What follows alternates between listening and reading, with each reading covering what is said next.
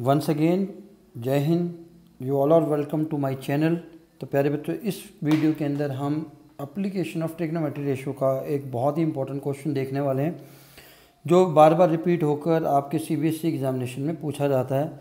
और ये उन क्वेश्चंस की सबसे इम्पोर्टेंट टाइप में से एक है। तो सबसे पहले इस क्वेश्चन को पढ़ते हैं। और ये अभी जो हाफ़ ईयरली एग्जामिनेशन हुए हैं बच्चों के, उसमें भी इस क्वेश्चन को पूछा गया है।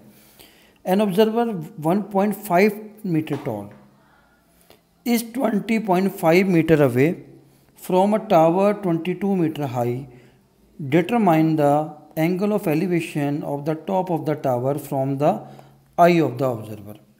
तो इसके अंदर एक पर्सन है जिसकी हाइट गिवन है आपको 1.5 मीटर टॉल ठीक है तो हाइट गिवन है एक पर्सन की, जो खड़ा होकर एक टावर की हाइट पर देख रहा है मतलब टॉप पर देख रहा है तो उस टॉप का आपने एंगल ऑफ़ एलिवेशन निकालना है तो पहले डायग्राम बनाते हैं डायग्राम कैसे बनेगा इसका? पहले एक टावर ले लिया हमने, ठीक है? ध्यान से समझना इस क्वेश्चन को। इम्पोर्टेंट है। इस टावर की हाइट हमारे पास 22 मीटर की वन है। ठीक है? इस टावर की जो हाइट है वो 22 मीटर गिवन है हमारे पास। यही बोला उन्होंने। ठीक है? और फिर एक पर्सन खड़ा है दूर, जिसकी हाइट हमें गिवन है 1.5 मीटर और वो टावर से कितनी दूर खड़ा है? 20.5 अवे फ्रॉम द टावर लिखा है तो ये जो डिस्टेंस है 20.5 मीटर है, ठीक है?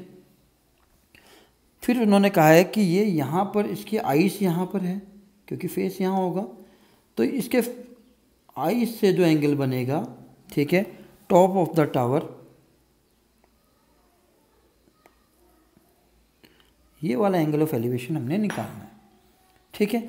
तो ये क्वेश्चन इसलिए इम्पोर्टेंट बन जाता है क्यों? क्योंकि जो ऑब्जर्वर है, उसके जो आइस है आइस से हमें टॉप ऑफ़ द टावर का एंगल निकालना है। तो हम सीधा कई बार क्या करते हैं 22 मीटर को डायरेक्टली ले लेते हैं। हाइट में कंसीडर कर लेते हैं, पर होगा क्या? हमें इसकी आइस के हॉरिजॉन्टल ठीक है? एक लाइन ड्रॉ करनी होगी, ठीक? लाइन ड्रॉ करने से क्या होगा कि जो ये ऑब्जर्वर की हाइट है 1.5 मीटर ये टावर की हाइट से क्या हो जाएगी? कम हो जाएगी। हमें निकालना क्या एंगल ऑफ़ एलिवेशन तो लाइन ऑफ़ साइड से, ठीक है, जो आइस का एंगल बन रहा है, वो है ये। इस एंगल को हम कहेंगे एंगल ऑफ़ एलिवेशन हमें ये निकालना है, ठीक है?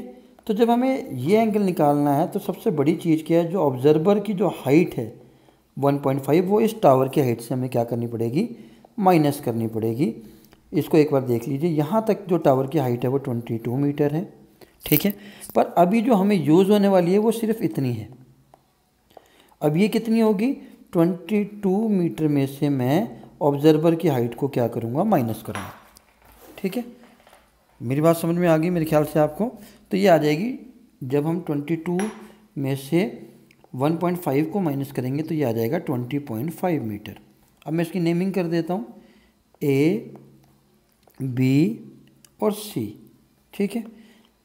पहले हमें पता है कि जो ए बी की हाइट हमने कितनी निकाली है, यहाँ पर डी और दे देता हूँ। ए बी की हाइट कैसे आएगी? ए डी में से मैं बी डी को माइनस करूँगा। अब बी डी को क्यों माइनस करूँगा? क्योंकि जो बी डी है, वो ऑब्जर्वर की हाइट के इक्वल है। क्यों? क्योंकि ये आपको दिख रहा होगा, पैरेललोग्राम बन रहा है और एक रेक्टेंगल की टाइप का दिख रहा है। तो रेक्टेंगल की जो अपोजिट साइड होती हैं, वो क्या होती है? इक्वल होती हैं। तो जब मैंने ए बी निकाला तो वो मेरा आया ट्वेंटी टू में से वन पॉइंट फाइव को माइनस करके ट्वेंटी पॉइंट फाइव ठीक है? अब एक और इम्पोर्टेंट चीज़ है, हमारे पास ई e डी की वैल्यू है, लेकिन बी सी की नहीं है। तो ई e डी और बी सी क्या होंगे? इक्वल होंगे। अभी बताया मैंने, पैरेललोग्राम है और रेक्टेंगल बन रहा है तो अपोजिट साइड इक्वल होती हैं। तो ये भी कितना हो जाएगा हमारे पास ट्वेंटी पॉइंट फाइव। ठीक है? अब लेना है triangle A B C in triangle A B C आपके पास कौन कौन सी दो चीज़ें हैं? एक आपके पास बेस गिवन है और एक आपके पास परपेंडिकुलर गिवन है। तो मैंने एक ट्रिक आपको पिछली वीडियो में भी बताई थी। ठीक है? वो ट्रिक फिर से बता देता हूँ एक बार। पंडित बद्री प्रसाद हर हर भोले। फिर मैंने बताया था आपको इसके ऊपर नेमिंग कैसे करनी है। पहले आपने साइन लिखना है कोसाइन लिखना है और टेन लिखना है। तो आपको देख लीजिए पी और बी की वैल्यू पता है तो हम यहाँ से टेन थीटा वाला फॉर्मूला लगा लेते हैं, क्योंकि हमें एच कैलकुलेट करने की ज़रूरत नहीं है। ठीक है? तो अगर मैं टेन थीटा का फार्मूला लिखता हूँ, ठीक है? ठीक? यानी कि थीटा यहाँ पर ए है तो मैंने ए लिखा है तो मैं यहाँ टेन ए कर लेता हूँ। पी अपॉन बी आएगा, ठीक? पी की वैल्यू कितनी है? Twenty point five meter B की वैल्यू भी कितनी है? ट्वेंटी पॉइंट फाइव मीटर इससे कैंसिल हो जाएगा तो कितना बचेगा? वन टेन ए की वैल्यू क्या आई वन अब टेन किस थीटा पर वन होता है? ये आपको ये भी पता होना चाहिए कि जो टेन फोर्टी फाइव डिग्री पर क्या होता है? वन होता है। तो यहाँ पर ए की वैल्यू कितनी आ गई? वन आ गई।